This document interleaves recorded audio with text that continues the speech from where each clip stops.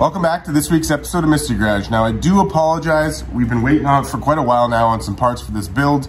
Uh, I'm still waiting on a good chunk of them. However, we do have some, so let's not waste any more time. Let's jump right into it.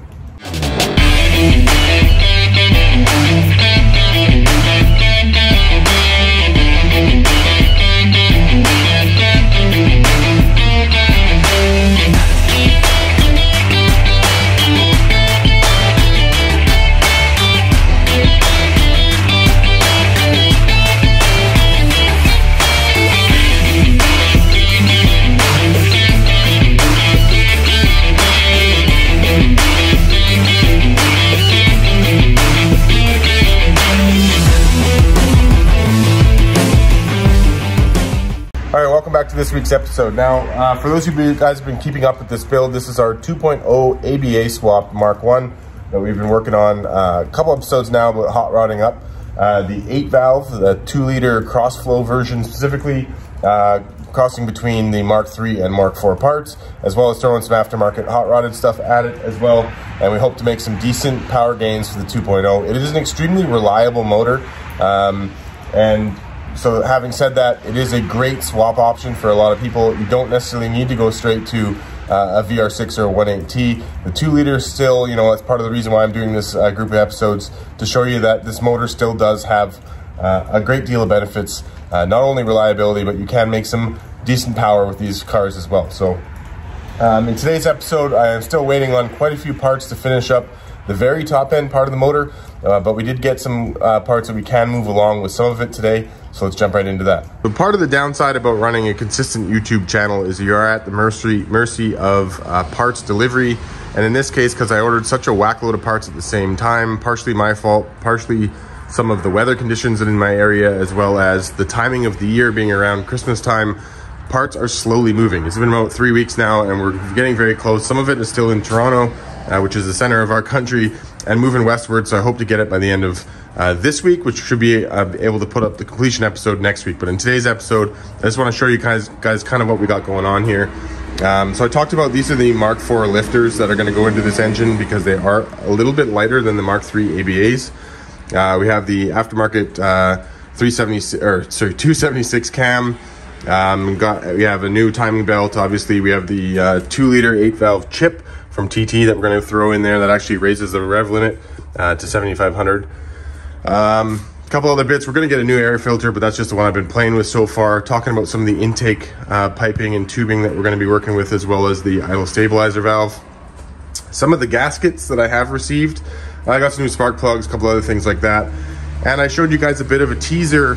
Uh, and big thanks to Eric, local guy in my, in my neighborhood, and I'll throw a link up to his Instagram here. But he came out and polished this intake up for me and did a fantastic job.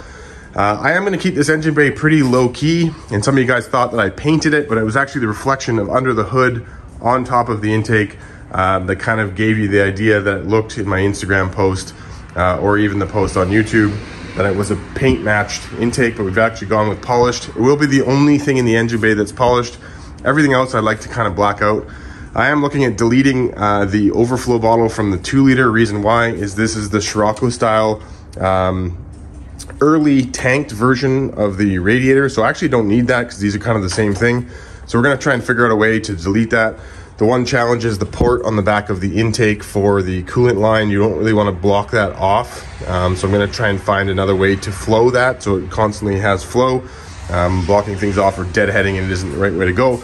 But then we can definitely delete this and not have to worry about it anymore, which will really clean up this side of the engine bay. So I'm looking forward to that. Anyways, moving forward, uh, some of the comments in the last episode, guys, and I understand a lot of you were kind of saying, hey, it's not a great idea to have your intake right behind because I had the intake filter right here, right behind the fan, because you're going to take the hot air from the radiator and blow it directly into your intake. So you're basically ingesting hot air. I knew that. I just was laying it out for layout purposes. That's why it was the mock up episode. So, what I did do is local to my area, I was able to find a bunch of pipes. Now, let me lay this out on the counter real quick and we'll get come right back to it. All right, so very inexpensively, I found a marketplace ad of somebody who was selling a bunch of mismatched uh, cold air intake systems. And because this is going to be a one-off setup, um, I kind of bought them as a group purchase. I think I paid about 80 bucks for them, um, which is fairly, you know, I could have manual bent all this stuff, but I don't have the tooling for that. And this was a really inexpensive way to go about it. So what I'm actually going to do is I'm going to take the certain bends and curves and build my old cold air intake. Maybe we might even get in uh, at that in today's episode. But my intention here is, is to come off of the intake uh, somewhere up here where it was, come down and kind of go in this area right here, uh, below the fan, below the radiator, and have the uh, air sucking up from underneath and maybe put some sort of uh, catch that curves some of the cold air from under the car up into the intake. Uh, without having it too low to suck any water in, it'll be kind of mid-mounted right about here. Uh, what I will do though, is I'm gonna mark out those pipes, kind of clock them, send them to a friend to weld them together so it's more or less one piece, and then we're gonna black it out so you won't really see it. And the idea is to kind of hug that engine cover and kind of keep it uh, kind of hidden, and as well as the uh, filter itself will hopefully be kind of hidden out of the eye's view. I might even put a bit of a heat shield on top to hide it and to keep the hot air of the engine bay off the filter. So we'll see how that goes, but that's my intention with those pipes there. And one of the other cool parts we did receive today is in this box. So let me pull it out for you real quick. All right, here we are. So probably my favorite part of this build is this long tube Mark 1 uh, tall deck race header. Uh, this thing is spectacular. It's from TT.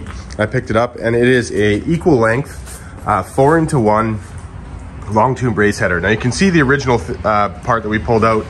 Everything groups up into these two, um, into the downpipe and then goes down in uh, what I can imagine is probably a one and five eighths ish size. Um, but what you're gonna see here, give or take, is you're gonna see a one and, one and five eight size for each individual runner um, all the way back down to over here, which I believe is about a two and a quarter. Uh, you're gonna have this flex bend. This whole thing is manufactured, from what I understand, in-house at TT. This is a fantastic product. Super excited to get this on the car. This is going to definitely help out the mid to top range power of this car. Long tube race headers are great for that.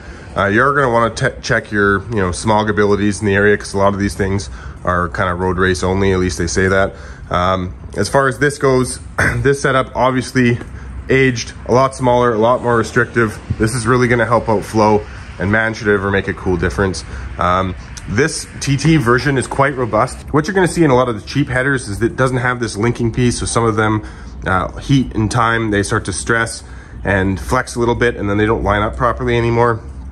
This is a really, really cool piece, but before I start handling this too much, I actually wanna throw some uh, paint on it. Then we're gonna start playing with trying to get it in the car. As you can probably see here, and hopefully the lighting is good for you guys, it's gonna be a little bit of a challenge to get it up and onto these exhaust studs. So uh, what I'm going to do, I might have to remove that um, drive shaft because obviously it's right in the way. Taking that drive shaft out of the way will help free up a lot of room to just get all the wiggling and everything um, organized. Now, one of the things it does say on the website that you guys should be conscious of is this, because of the four into one setup under here, it's not really too conducive with having a sway bar, um, especially the factory one. You can modify your sway bar setup to still work with this, um, but this car actually doesn't have a sway bar currently, so we're not gonna run into that problem, but you definitely would if you were trying to throw down that long tube race header style into a car that did have a sway bar. The other thing to remember uh, with this whole setup too is that this one is made for the tall deck and they make sure that they, they mark that there so that they don't mistaken. This is for the two liter tall block option.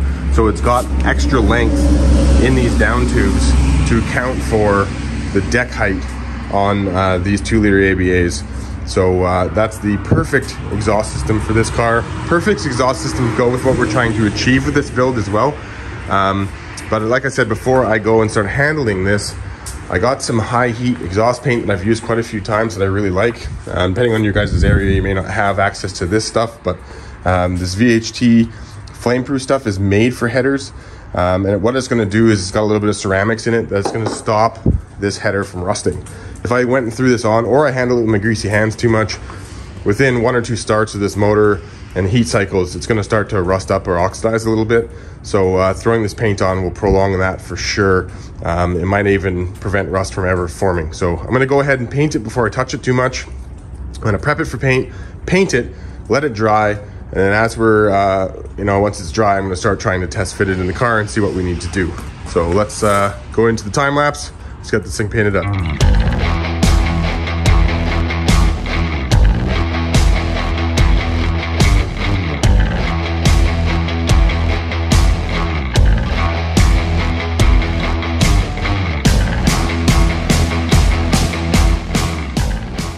Okay, so while that first coat tacks up, I'm gonna go ahead and remove that drive shaft just to get out of the way, give us that extra bit of wiggle room when it comes time to throwing this thing in. First off, we're gonna pop off this tire and get to work pulling it out.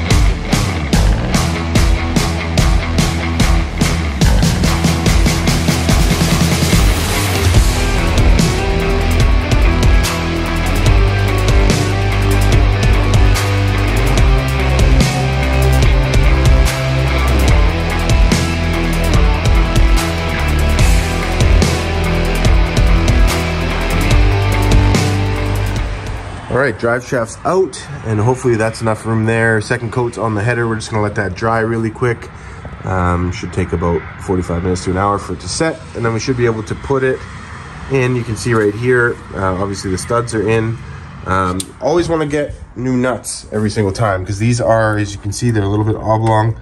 Uh, these copper nuts are used once. So uh, I got new nuts, new gaskets. Go ahead and throw that in, and then we gotta worry about afterwards about how we're gonna tie it into the exhaust system. Now, since this exhaust system is also a TT, it should mate up pretty quick, but with the old system, I made this little adapter. Uh, I may have to hack that off or uh, we'll see kind of how it mates once we get it in the car. Uh, if I have to modify anything, I'll be modifying the mid pipe rather than the header itself. And so, as you guys can see, climb under here. Hopefully you guys can see where we're going here.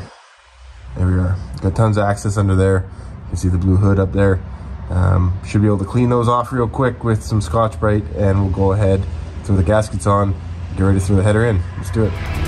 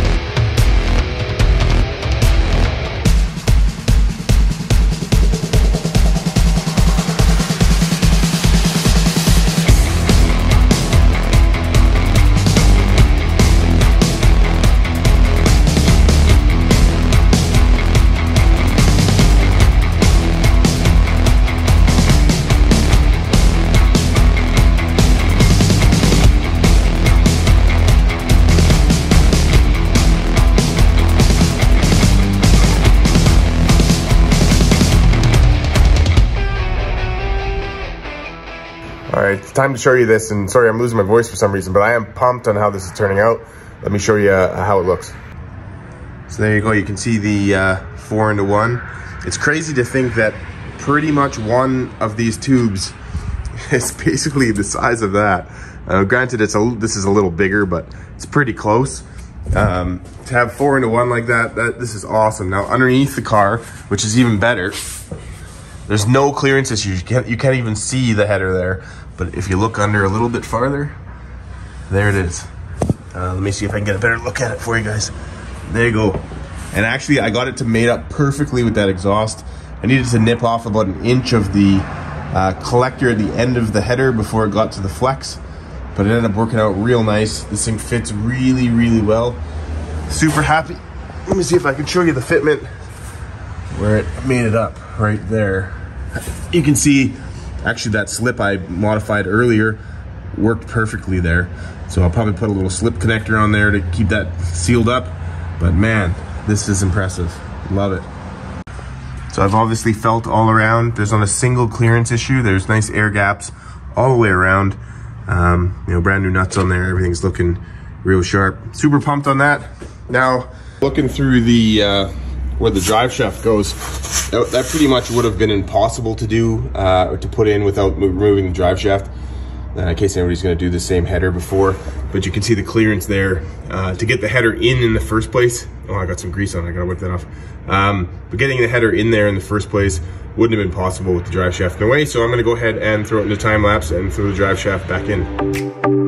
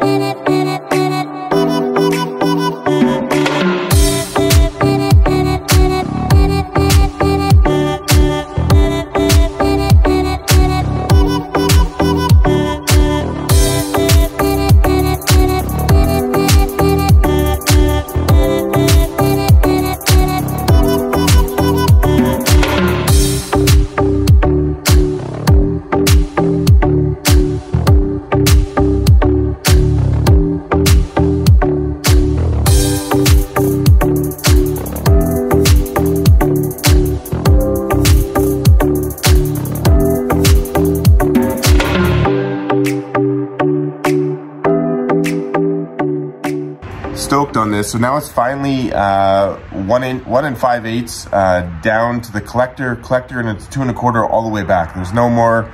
Uh, there used to be a little bit of restrictions of size difference, variation with the old exhaust. Now it's straight through two and a quarter right to the back. That leaves me with everything underneath the car basically done for now. Uh, as far as the engine mods go, we're going to go ahead and tackle in next episode. We're going to go ahead and start working on putting all this back together. I'm just waiting on a few more gaskets and my injectors and a couple other things that is preventing me from going any farther on the top end of this engine. I really wish I could keep going. I really want to keep going, but it looks like the next shipment's only about a couple days away. So by next episode, guys, we will get the top end of this engine completely put together, fire this thing up, because now with this new exhaust, as well as all the new treats we're throwing at this engine, I really, really want to fire this thing up. And shortly thereafter, I think we're probably going to end up doing a brake upgrade on the front. As you guys can see, these are non-vented in the front. It would be really nice to put another brake upgrade. Probably go Corrado 11s or something in the front. Um, and then this car should be ready to hit the road uh, or actually probably go into storage for the, till the spring and then hit the road in the spring. But thank you guys very much for watching. I really do appreciate it. And if you guys like this kind of content, highly recommend you subscribe to this channel because the next episode is just a few days away. Uh, so is Christmas too. So uh, I'll get the next episode out before Christmas. And uh, happy holidays to the rest of you guys. And we'll see you soon on the next episode. Till then, take care.